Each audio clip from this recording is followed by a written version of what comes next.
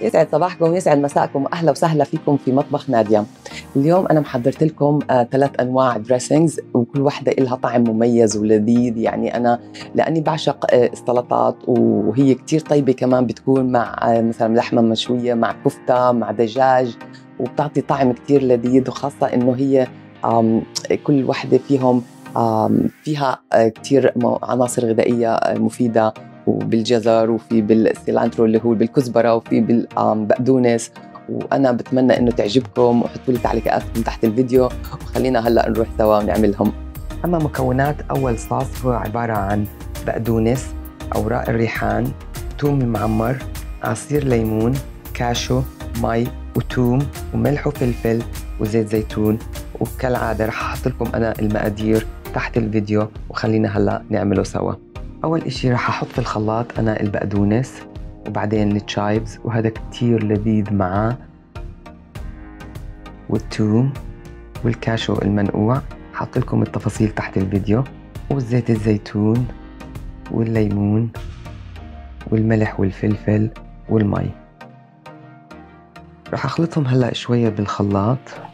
أوبس أنا نسيت أحط الريحان وهو أهم يعني من العناصر اللي حتخليها تكون طيبة.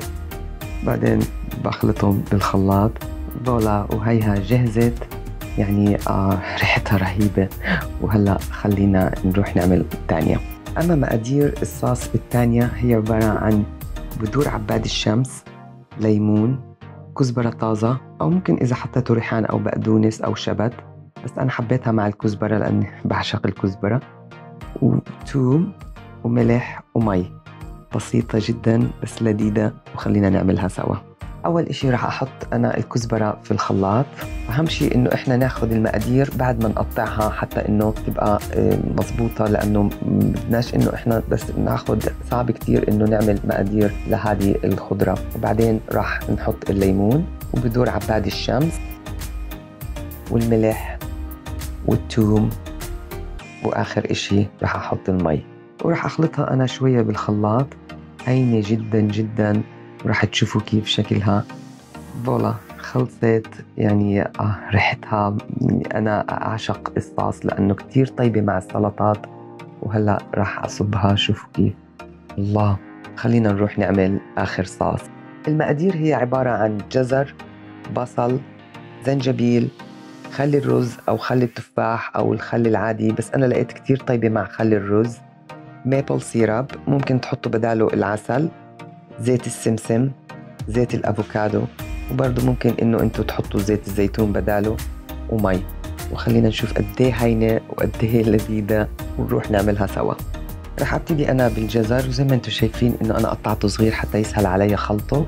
بعدين البصل والزنجبيل وزيت الأفوكادو أو زيت الزيتون زي ما بتحبوا والخل وزيت السمسم وكتير مهم إنه أنتم ما تكتروا منه لأنه كتير قوي. وهنا حطيت ال maple syrup وزي ما قلت ممكن إنه بداله عسل. راح أخلطهم شوية بالخلاط لحتى إنه ينمزجوا بس هو حيكون شوية ثيك فأنا بالتالي راح أضيف عليه أربع معالق مية. هذا إذا مشيتوا على نفس الطريقة حتلاقوا بتكفي لأنه هي كتير طيبة لما تبقى شوية رخوة وأنا بعشق السلطات فبالتالي بحب أعمل وأنوع بالصوص حتى تعطيها طعم كتير لذيذ. وراح أخلطهم هلأ بالخلاط شوي. وهنا خلصت. فوالا هذه آخر صوص. يعني أم إن شاء الله يعجبوكم وهلأ أفرجيكم آخر تقديم لإلهم. وهذا آخر صحن تقديم لإلهم. يعني ما شاء الله فعلا كل صوص إلها طعم مميز ولذيذ. وممكن إنه هي تنحط على السلطة ممكن تنحط على لحمة مشوية أو على دجاج يعني هدول كتير بيعطوا آه، طعم مميز للأكل. وصحتين وعافية عليكم وإن شاء الله يعجبوكم. وحطوا لي تعليقاتكم تحت الفيديو ونلتقي في فيديو آخر مع أكلة صحية في مطبخ نادية. و again بقول ما تنسوا like and subscribe لأنه كثير إنه أنا ببقى سعيدة إنه توصل هذه الوصفات الصحية للناس اللي بدها تعمل ريجيم أو الناس اللي حابة إنه هي تاكل أكل صحي ودائما تحافظ على صحتها. وإن شاء الله دائما نكون بصحة وعافية. والسلام عليكم ورحمة الله وبركاته.